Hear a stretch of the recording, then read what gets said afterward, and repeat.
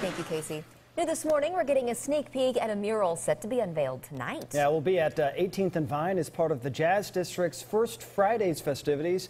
And that's where we find Joel Nichols this morning. Joel, what's going on?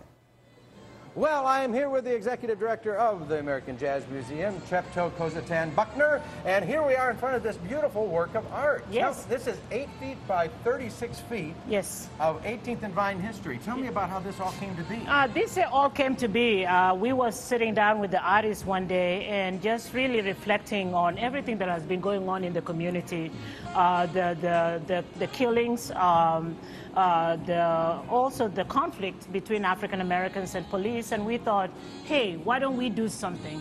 We wanted to be part of a solution. Right. And so that's why we decided to, to do the, the mural. and invite- everybody's going to get a chance to be a part of this. How Everybody cool. is going to get a chance to be really part of it, and we want everybody to come and be part of it because I think the important thing to learn is that jazz was always an integrator. Jazz always brought people together, Right. and we wanted to bring people together again in 2016 uh, to paint and, and come together and share something very important. So starting this afternoon, the first Friday is on 18th and Vine. So uh, what time can people come down and get a chance to add their color to this beautiful mural? They can come down at 4 o'clock.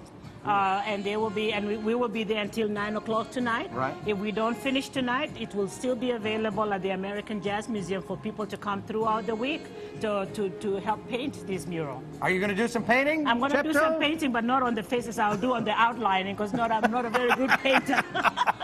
But what a neat idea to bring all this history. You got Count Basie and uh, you've got Jay McShann and all these great faces of 18th and Vine over the years. Exactly, and it's it's very important because a lot of people, you know, think about 18th and Vine right now. But what we wanted to tell is that 18th and Vine has always been great.